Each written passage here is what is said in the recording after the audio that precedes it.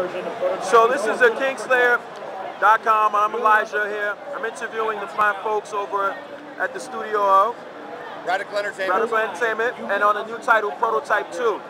And here's the designer. The game is here at Comic Con NYC 2011, and it's gotten a lot of rave reviews from fans. And now we're here to talk with one of the designers.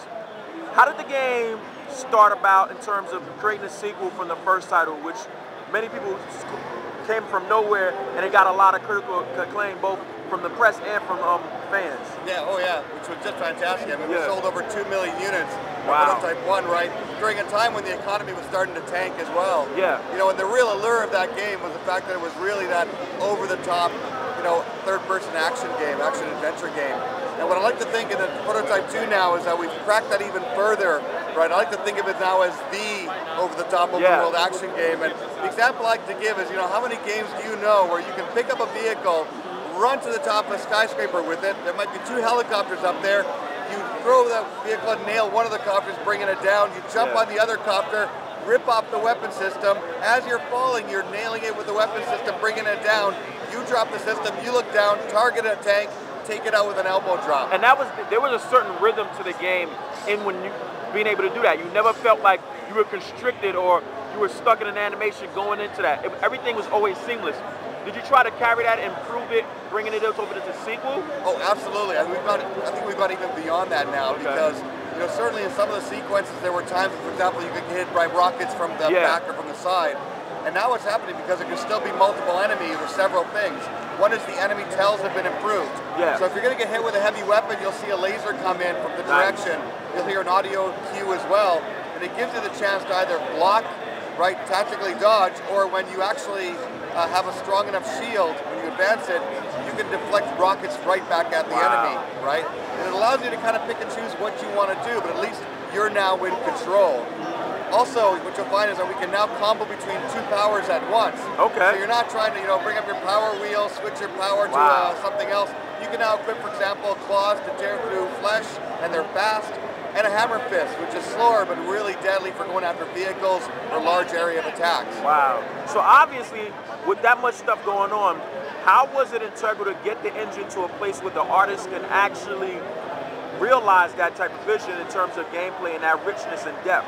Oh, I mean, that is really critical because, Okay. of course, you know, having been more involved in technology, uh, you know, I'm, I'm, I'm a techie guy, so I know the importance of having good, strong tech, but really, unless it supports the artist, you're not going anywhere. Yeah. And they're the ones who are creating the beautiful art, beautiful world, the beautiful animation and models, right? And they need tools that allow them to be able to do it and iterate very quickly. So, luckily, we're a studio that's been around for 20 Yeah. years this year. 20 years is this month, year? This past month, actually, last So that's a lot of that's a 20 lot of lot of scars, a lot of a lot of growing pains as well. You bet. I mean, you know, we, we've gotten to a point now where I think our process is very strong. Yeah. Our people are very talented.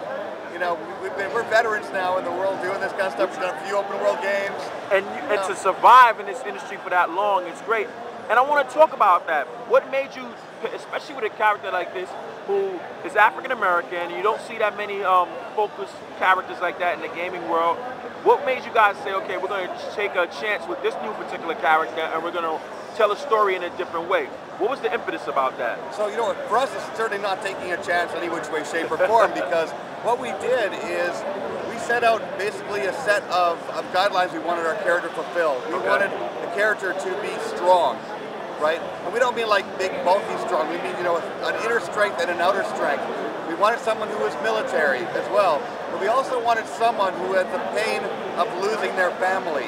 Okay. And if you look up at Heller's face, even right now on those posters, Yeah. you know, you see a strong guy, you see a guy who clears military trained, but you see the pain in his eyes, you see the humanity.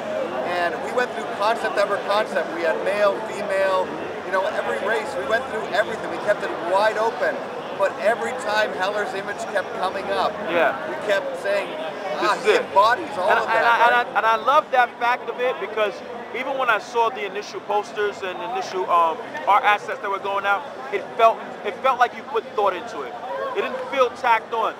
Now, how does that relate to the gameplay? That you found this character after this search. Did it make the game come more alive compared to the, the first title? Yeah, you know, certainly when you have a character you can really relate to. Yeah. You know, I mean, I'll face it, I'm Italian, right? Yeah. If someone goes after my family and kills them, I'm sorry, but, you know, I'm probably going to be a little vengeful. It's just me. It's But, true. you know, you know, it's somebody to relate to. It's, it's a good idea. What I like Yeah. about it is kind of, you know, the irony of the fact that you've got Heller who's so bent on going after Mercer because he's the one who released the virus and it destroyed Yeah. his family. Yeah. And yet Mercer, with his own plans, which we haven't revealed yet, infects Heller and makes him the next prototype, Yeah. essentially giving them the capability and the tools to take him out, to take Mercer out, Wow. right? So is, is Mercer at all playable in the game? He, he is not. We've focused on a single player campaign. Okay. Uh, just with Heller. Yeah. You know, it's really the most important part of it. So Mercer how does he drive the story as a mechanism as, the, as this, as this villain, but not a villain? Because Mercer, I, I enjoyed it. I enjoyed his journey as well. Yeah. Uh, did I say he was a villain? no. Okay. No, All right, all right. I, certainly assumption let- is good. Let's face it that, you know, the prototype prototype showdown has to Yeah, happen. yeah. You know, the reasons why, you know, how the truth comes out, everything else is all Yeah. part of unraveling that story.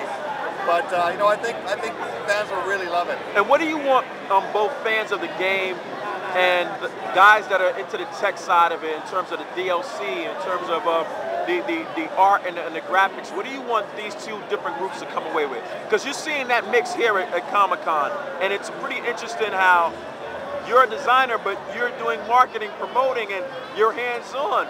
And how are you converging that world? Well, so I have to correct. I'm actually not a designer. Okay, Uh, I'm, a I'm studio, sorry. I'm the, all right. No, no. I, I know it. Calling me a designer is a huge compliment. I'll tell you right now. I'd love to be called it. I'd love to go along with it. But our designers are way more talented than I can ever be.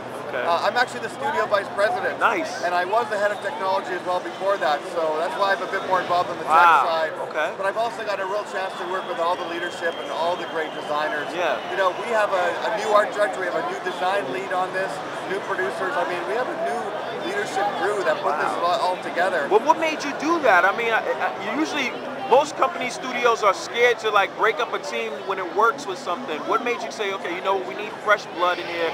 We need a, new perspective. What made you do that? Yeah. When you could have know, stuck with what worked? Some, you know, some of that comes from attrition, some people leaving, for example, but a lot of it really came from just the initiative of people that were sitting on their team saying, I have a vision and I can do this. That's hot. Right, and That's that's, really what it comes down to. I mean, we have been very fortunate to promote a lot of people from within because they're the ones that stick their hand up every day and say, I will do this. That's great. And prove us that they can. And I think in this game, they've really knocked it out of the park. And so far, every time I've come by this booth, I've seen a lot of people play the game and they're literally getting into it. I'm dying to get my hands on it, and so is my intern here. And I'm, and I'm wondering, has has the, the response to the game been what you wanted, especially from an executive level? Oh yeah, you know, it's, it's been phenomenal. Yeah. Because I'm so close to the game and Yeah. a big part of my job is looking at areas I may not be working, right? Yeah. Coming to something like this in New York and seeing the reactions, you know, they just, they blow me away. Really? You know, because you got a smile. Every time I've seen you, you can be exhausted, but you have a smile on your face, and it doesn't look, it doesn't show at all. No, you know what? I don't think the smile will ever get wiped off my face. I'll tell you now, because the reaction has been phenomenal. Of course, Yeah. you know when I look at things, I'm used to looking at very critically. Yeah. And that's certainly to answer one of your questions before. What I hope is people that know the industry, the professionals, look at the game with a critical eye and see how great it is. Like see the great moments in the game. And of course, for the fans as they come up and look at it now, I'm I'm blown away by how they just love it. And Yeah. we're just showing a couple of things right now. and it's you and, know, and it's I mean that's what I was I was so curious about as well. It's like there's a there's a vibrant energy around this title. Um, you hoping it when does it come out? So it comes out on April 24th next year. Okay, nice, nice. And it's on the 360, PS3, and the PC. Okay, and what else? Is there any other information that we should know about besides the release time, or, or will there be any new uh, uh, reveals between now and then? Yeah, I mean, one of the new reveals we had at Comic Con, besides, besides the hands-on, Yeah. was part two of the CG trailer. Wow. And so the CG trailer kind of continues telling the story of Heller's mission, his objective. Okay. But it also does hint at things to come in the game in terms of abilities. That's hot. So, you know, definitely take a look and check that out. You know, we will be announcing more and more things as we get closer to the end date. Okay. We got six months, but stay tuned. Every month we intend on showcasing something new.